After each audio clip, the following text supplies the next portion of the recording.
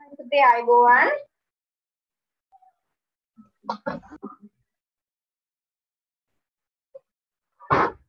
කොහොමද සද්දයක් නැත්තේ කට්ටිය? ඈ? හරි. කොයිද මයික් ඔන් කරන්න චුට්ටක් අයිබෝවන් ටීචර් ඔව් නැත්තම් පාළුයි වගේ මං තනියෙන් කතා කරද්දි. හොඳද ඔයාලා ඉතින් අලුත් යාළුවෝ ටිකනේ නේද? ෂූටිම කට්ටියන්නේ ඒකින් හින්දා මේ මම පොඩි ගණිත ගැටලු ටිකක් ඔයාලට දාලා තියෙනවා. චූටි එක චූටි චූටි ගැටලු ටිකක් දාලා තියෙන්නේ. ඔයාලා චුට්ටක් හඳුන ගන්න තමයි මම අද පන්තියේ කරන්න හිතුවේ. මෙහෙමයි පුතේ. ඔය චූටිම කට්ටියට පන්ති ඕනේ නැහැ කියන මතේ මමත් ඉන්නවා. හොඳද?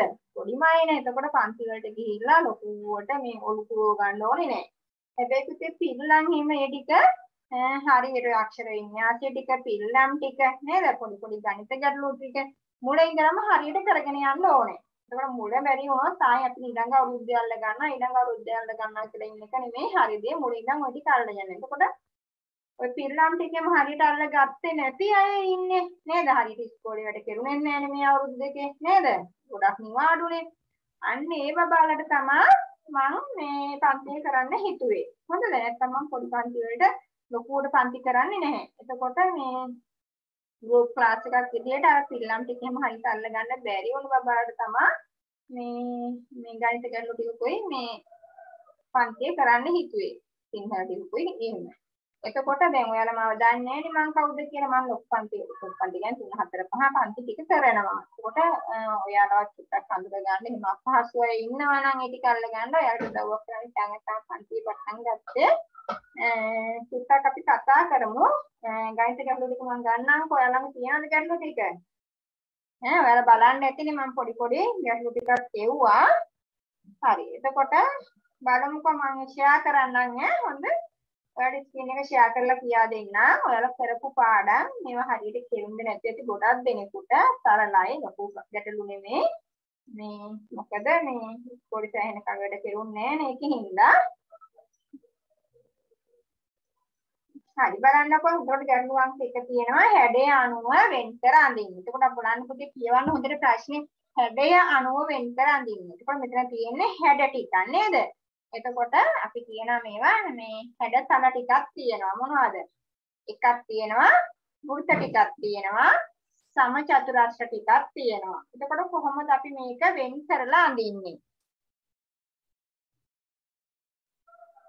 එතකොට බලන්න මම එක් කරන හැටි කියන්නම්. මෙහෙම තියෙන්නේ අපිට.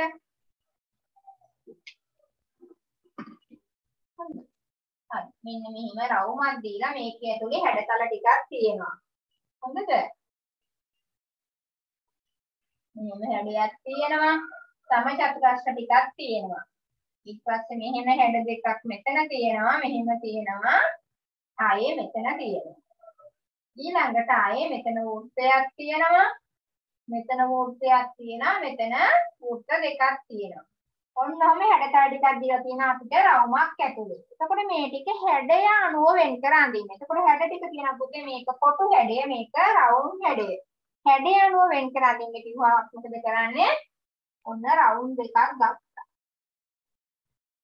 මොකද කරන්නේ? මෙන්න මේ එක හැඩයක ඒවා මේ රවුමට දානවා අනිත් හැඩේවා මේ රවුමට දානවා. එතකොට බලන්නකො හැබැයි මේ හැඩය හරියට මොකද මෙතන තියෙනවා කීයද තියෙන ගානම හරියට දාන්න ඕනේ අපිට වෙනස් ගණන් දාන්න බෑ. තම චතුරාර්ය තියෙනවා 1යි 2යි 3යි 4යි 5යි. එහෙනම් අපි ඒ පහ විතරයි මේ ටිකන දෙපැත්තට වෙන් කරන්නේ. එහෙනම් හරියටම තම චතුරාර්ය පහක් මෙතෙන්ට ගන්න ඕනේ.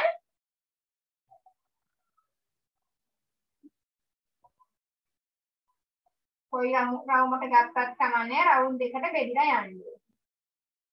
ඔන්න ඔහම පහක් ගත්තා.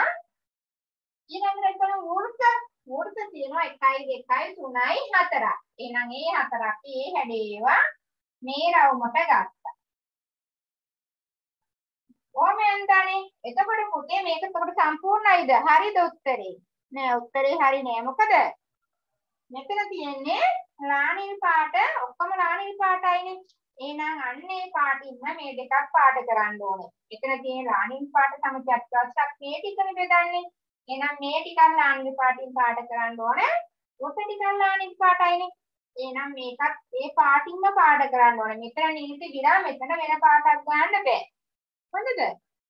එතකොට මේවා සරලයි. ඔයාලට හරියට කෙලිච්ච අය ඇත්තටි නොකරුණ අයත් ඇති. මේ විදිහට බෙදලා දක්වන්න ඕනේ. පැහැදිලි නේද ඒක? හරිද ඔයාලා? ඈ? හරි. අපි දෙවෙනි ගැටලුව බලමු. මේත් ඔයාලගේ මුල් පාඩම් මොකක්ද තියෙන්නේ? තරමානුව වෙන් කර අඳින්න. තරම කියන්නේ ප්‍රමාණය නේද? එයා කොයිතරම් ලොකු දහනවා නේද? එයා ළඟ කොයිතරම් සෙල්ලම් බඩු තියන දහනවා. එතකොට තරම තරම කියන්නේ කොයිතරම් ලොකුද? නේද? ලොකු පොඩි. එතකොට මෙතන තියෙන තරම අණුව වෙන් කර අඳින්නේ කොහොම ලොකු පොඩි කියන එක තමයි හොයාගන්න වෙන්නේ. එතකොට බලමු ස්ට්‍රෝබෙරි වගේක් තියෙන්නේ අඳින්න ලේසි වුණාද? හරි. අපි බලමු කොහොමද තියෙන්නේ කියලා. ස්ට්‍රෝබෙරි තියෙනවා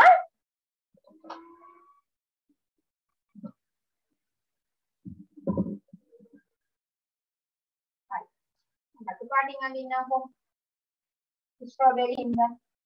ඔන්නම ස්ට්‍රෝබෙරි තියෙනවා. මම මේකත් මේ පාටින් අඳිනවා.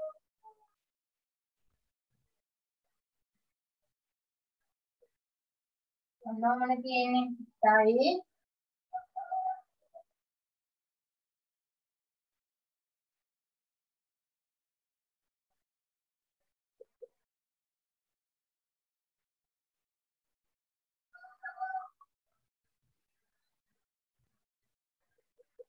කොහොම තියෙනවා ආයේ මයික්කට අදින්නන්නේ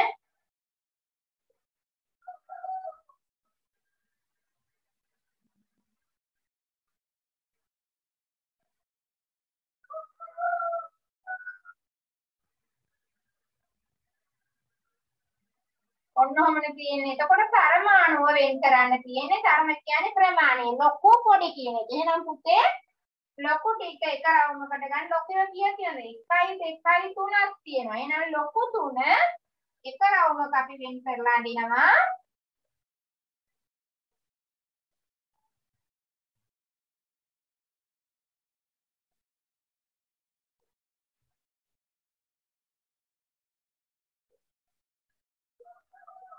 පොඩි එක 1යි 2යි 3යි 4ක්. පොඩි 4 අනිත් රවුමේ වෙන් කරලා අඳිනවා.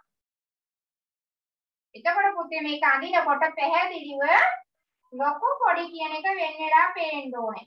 නේද? එක සයිස් එකට අර ප්‍රමාණයෙන්ම කිට්ටු වෙන්නේ නැතුව පැහැදිලිව ලොකු පොඩි වෙන් කරලා පේන්න අඳින්න ඕනේ. එතකොට හරිනේ මේක ලොකු ඒවා තුනයි පොඩි ඒවා හතරයි වෙන් කරලා ඇඳලා. එතකොට ඒකත් ඒ පාටින්ම පාඩ කරන්න ඕනේ. මෙතන රතු ඒවා තියෙනවා නම් මෙතන ඉස්තොබේ නම් කොහොමද රතුනේ? වෙන පාටක් ගාලා හරියන්නේ නෑ. අපි මෙතන ටික තියන් ටිකයි වෙන් කරලා දක්වන්නේ. ඉතින්ද පාට කරලා දක්වන්නේ මේ පාටින්ම. හරි. ඊළඟට ගැටලු අංක 3 බලන්න. එකක් ලේසි පුංචි ප්‍රශ්නයක්.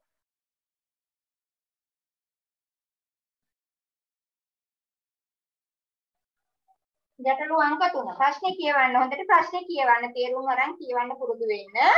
රවුම ඇතුලේ වැඩියෙන්ම ඇත්තේ මොනවාද? ඔන්න අපෙන් එක ප්‍රශ්නයයි අහලා තියෙන්නේ. ඒකට ඒකට විතර අපි උත්තර ලියන්නේ. හරිද? රවුම ඇතුලේ වැඩියෙන්ම ඇත්තේ මොනවාද? ගැනලා බලන්න. කාර් තියෙනවා 1යි 2යි 3යි 4යි 5ක් ගනින්න. බස් රථ තියෙනවා 1යි 2යි 3. එහෙනම් අපි උත්තරය ලියනවා රවුම ඇතුලේ වැඩියෙන්ම ඇත්තේ මොනවාද? කාර්. car ඔව් කාර් කියලා ලිව්වනම් හරි. අවම ඇතුලේ වැඩියෙන්ම ඇත්තේ car ඔක තමයි උත්තරේ. ආන ප්‍රශ්නෙට ගැලපෙන්න අපි උත්තරේ ලියන්න ඕන. වැඩියෙන්ම ඇත්තේ කාර්. හරි. ඊළඟ ප්‍රශ්නෙට යමු. හරි බලන්න ප්‍රශ්නේ කියවන්න. සංඛ්‍යා නාමය නිවැරදිව ලියන්න. සංඛ්‍යා නාමය. නාමය කියන්නේ අපි නාමය කියන්නේ නම. නේද? මනුස්සයෙක්ට නාම තියෙනවා. එක එක බඩු වලටත් නාම තියෙනවා. එතකොට මේ සංඛ්‍යා වලටත් නාම තියෙනවා. නාමයක් කියලා. ඉතින් නමක් තියෙනවා. නාමය ලියන්න කියන්නේ අපි නමක් කියන්නේ අකුරෙන්නේ. එහෙනම් සංඛ්‍යා නාමය කියන්නේ සංඛ්‍යාවට කියන නම අකුරෙන් ලියන එක. එහෙනම් අපි බලමු. මුලින්ම තියෙන කීයද ලේසි ටිකක් තියෙන්නේ. මුලින්ම තියෙනවා මෙන්න මේ සංඛ්‍යා. මොකද්ද සංඛ්‍යා නාමය? තුන ඔව් තුන. තුන තුන. ඊළඟට ඊළඟට ඔව් පහ. පහ ආ, ඔන්න බලා ගන්න ඔයාලා කරන වැරැද්දක්. පහ. සමහරු ලියනවා පහ කියලා හයන්නක් දානවා. එහෙමනේ පහ. හයන්නෙන් නවතින්න ඕනේ. එලපිලි එහෙම දාන්න බෑ. වැඩ කරන වැරදි මන් දන්නවා. ගොඩක් දෙනෙක් හයන්න දානවා. 50 පහ කියලා නෑ. පහ එච්චරයි. ඊළඟට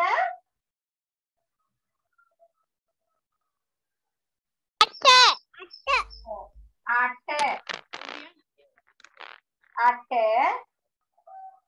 ඊළඟට දෙක. දෙක. දෙක. හරි. ඊළඟට හත. හත. හරියටි ඒක ගැටලු ටිකක් දුන්නේ. හරි හරි. අපි ඊළඟ ගැටලුව බලමු පුතේ. හරි. කියවන්න බලන්න ප්‍රශ්නේ. කුරුල්ලන් පහක් සිටිය අත්තකට තවත් කුරුල්ලන් දෙදෙනෙක් ආවා.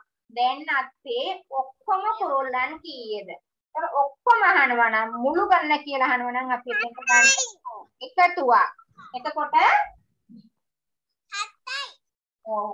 හතයි. ඔව්. අට හරි. කුරුල්ලෝ පහක් හිටියා. එකෙන්ට තව දෙන්නෙක් ආවා. එහෙනම් අපි ඔක්කොම අහන හින්දා එකතු කරනවා. හතයි එතකොට එකතු හත කියා දෙන්නේ ලොකු ඉලක්කම ඔලුවට ගන්න පොඩි ඉලක්කම අතට ගන්න. ලොකු ඉලක්කම හතයි පහ ඔලුවේ දෙක අතට ගන්න. ඔව් පහ හය හත. ඔව් හත් දෙනෙක් ඉන්නවා. ලේසි ගණන් වෙලා කෑ ගහනවා නේද? හරි. ඔක්කොම කුරුල්ලන් හතයි. හරි. අපි ගැටලු හයක් බලමු. ඊවන්න බලන්න ගැටලුව මල් පොකුරක සමනලයින් 8ක් සිටියා. ඉන් 3 දෙනෙක් ඉවතට ගියා. එතකොට ඉවත් වීමක්. ඉතුරු කීයද කියලා අහනවා. ඉතුරුවක් අහනවා නම් එතන තියෙන්නේ අඩු කිරීමක්. ඉවත් වීම. යම් ප්‍රමාණයක් තියෙනවා. ඒකෙන් ඉවත් වෙලා ගියා. ඊට පස්සේ ඉතුරු කීයද කියලා අහනවා. එතන ඉන්නේ අඩු කිරීමක්. එහෙනම් පහ අටක් හිටියා. අඩු වුණා 3 දෙනෙක්. පහ ගන්න. එතකොට මම කරන්න කියන්නේ මේක ඔන්න පුරුදු වෙන්න එපා. අටක් අරගෙන තුනක් නමන්න පුරුදු වෙන්න එපා. ඒ වැඩේ පුරුදු වෙන්න එපා. මොකද දැන් හැදී හැකි වල පොඩි පොඩි ගණන්නේ 10න් 2යි 5න් 3යි අඩු කරන්නේ දැන් ලේසි ඒ ක්‍රමේ.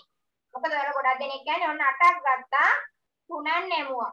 ඕක පුරුදු වෙන්න එපා. ලොකු ලොකු ගණන් යන්න ලියා හදන්න පිටි තව යනකොට 3 4 යනකොට ටිකක් ලොකු ගණන් හදනවනේ. එතකොට අපිට තියෙනවා 18න් අඩු කරන්න 12න් අඩු කරන්න මේ ක්‍රමයේ පුරුදු වුණාම කොහොමද 18න් අඩු කරන්න කකුල ඇඟිලිත් ගන්න වෙනවා. ඒකින්ද පුරුදු වෙන්න මේ පොඩි සංඛ්‍යාව ඉඳන් ලොකු සංඛ්‍යාවට ගනින්න. 3 3 තියෙනවානේ 3 ඉඳන් 8ට ගනින්න. 3 දීලා තියෙනවා. 3 දීලා 3 දීලා තියෙනනේ. 4 5 6 7 8 කීයද 5යි. අටෙන් තුනක් අඩු කරනවා කියන තුනේ ඉඳන් අටට ගනින්න. තුන තියෙනවා. එහෙනම් තුන ගන්න. හතර පහ හය හත අට. ඔව්. එතකොට උත්තරේ එනවා. ඇඟිලි පහක් නෙමෙයි අටෙන් තුනක් අඩු කරපුවාම පහයි කියලා. දැන් සමනලිය පහක් ඉන්නවා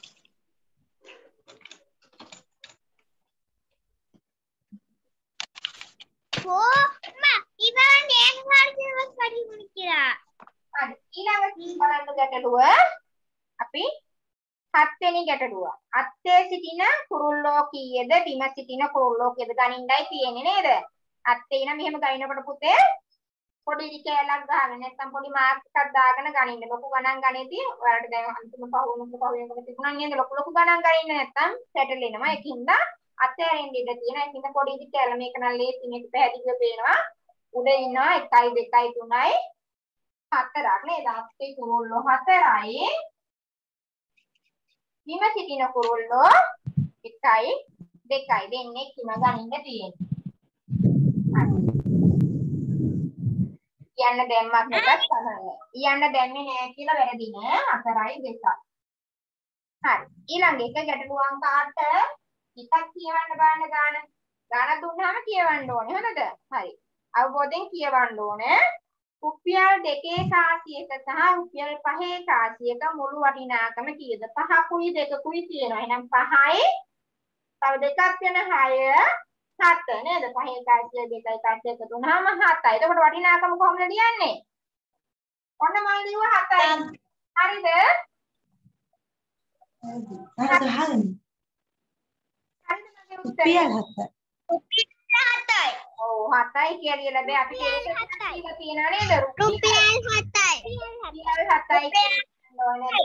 උත්තරේ වැරදි. ඒකකයක් තියෙනකොට අනිවාර්යයෙන්ම ඒකකය ලියන්න. රුපියල් කියලා එකකයක් තියෙනවා රුපියල් 7යි. ඔයාලට සතු දැම්මේ නැත්නම් කමානේ ඔයාලට සතු ගන්නන්නේ රුපියල් 7යි කියලා ඉවත් හරි. එතකොට ඒකකයක් තියෙනවා නම් ඒකේ දැන් නිකන් 7යි තියෙනවා නම් ඔන්න ඔක වැරදි. රුපියල් 7යි කියලා තියෙන්න ඕනේ. ඒකකේ රුපියල්. හරි. ඊළඟට පින්තූරයක් දීලා තියෙනවා. උස වැඩි කෙනා කවුද? වැඩ කළානේ උස මිටි නේද? ලොකු පොඩි නේද? ගොරෝසු රළු වෙන සංසන්දනය කළා නේද? මේ වගේ දැන් ඔන්න දිග කොට සංසන්දනය කළා. එතකොට මෙතන තියෙන උස වැඩි කෙනා කවුද? පැන්ටි. ඔව් පැංචි තමා උස වැඩි. මම මෙතන ලියන්නම් උසේ. වැඩි කෙනා පැංචි. දෙට බලන්න පොඩි අකුරක් වෙනස් වෙන්නේ. ඒකින්ද පැංචි පැංච පටල ගන්න එපා. පැංචි තමා උස වැඩි කෙනා. නෝකයි උත්තරේ පැංචි කියලා තිබ්බනම් හරි. ඒක එහෙම කුත් ඕනේ. ප්‍රශ්නෙට ගැලපෙන්න උත්තරේ කියන කවුද උස වැඩි කෙනා පැංචි.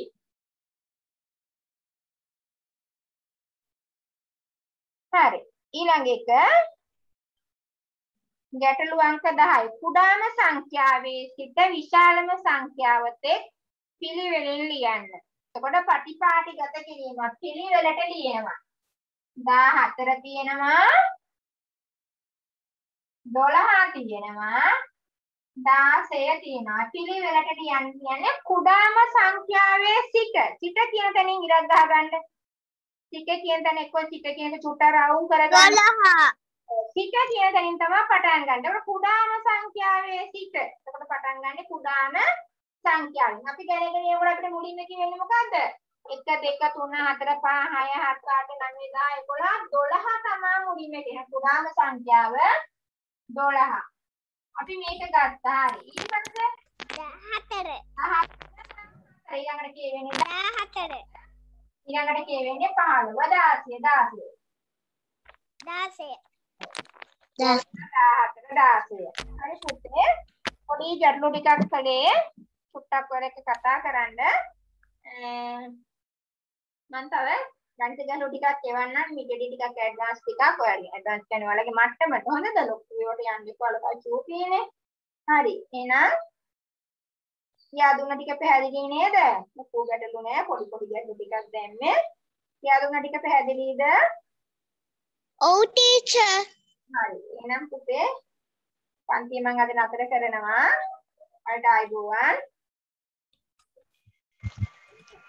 subscribe one thing.